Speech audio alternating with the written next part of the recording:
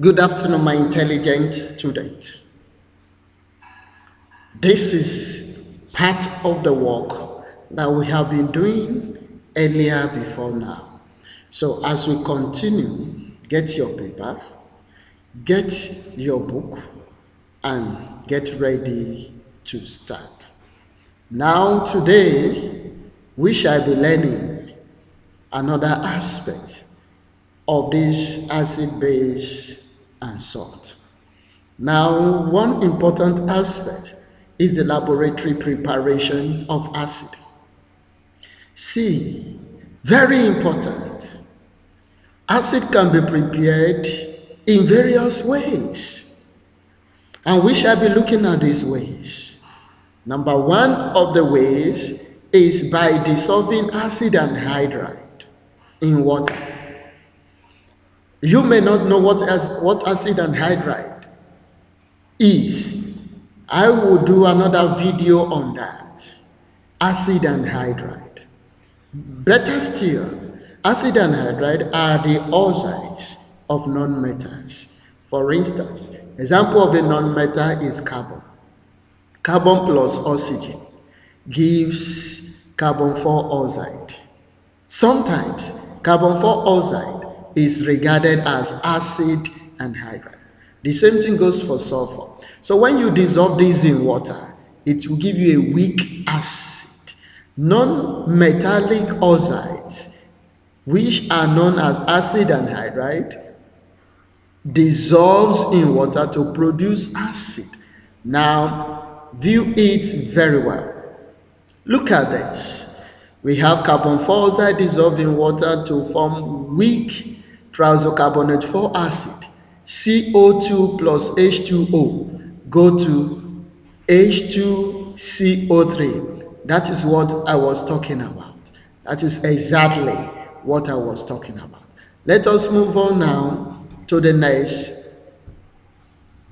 Now, preparation continues. This is another acid anhydride, SO3. When you dissolve it in water, it produces H2SO4, but this is risky. Yes, the reaction is very exothermic. It is not advisable to dissolve this, but it's an acid anhydride. Let's move on. Now, to prepare by combination of constituent elements in the presence of specific catalysts. Number one, if you want to prepare hydrochloric acid, all you need do just get hydrogen and chlorine in the presence of activated charcoal. You see, when they spark together, they will give you hydrochloric acid. That is through direct combination. But mind you, activated charcoal is the catalyst used in direct combination process of preparing acid. Let's continue. Strong acid and less volatile acid displaces a weaker and more volatile acid from its salt. Look at it. Volatile hydrochloric acid. When an acid is volatile, it can easily escape, it can easily move into the air. Now, sodium chloride by a less concentrated hydrochloric acid. Look at this is a salt of a volatile acid. Take note. A salt of a volatile acid if hydrogen were to be here now, this is hydrochloric acid, which is volatile, and this is a less strong acid. Take note, it has been a bit from the statement here stronger and less volatile acid displays weak and more. This is a strong acid but less volatile. So from there, see what the result is. It produces another acid and a salt. So this is another way of preparing an acid. Let's move on to the next one. Dilute hydrochloric acid displaces the weak triazocarbonate 4. This is another way of preparing acid. This is a dilute hydrochloric acid. This is a salt.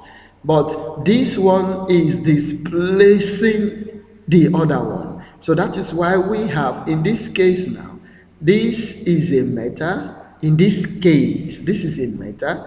This is a metal. This is regarded as radical. So when this hydrogen combines with this radical, it gives H2CO3. And this chlorine combines with this calcium to give calcium chloride. Please take note of that. Take note, take note, take note. Let us move on to the next slide.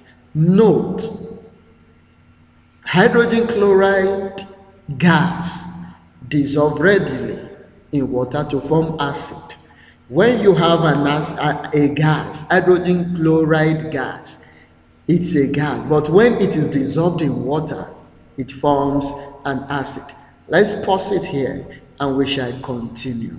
Thank you.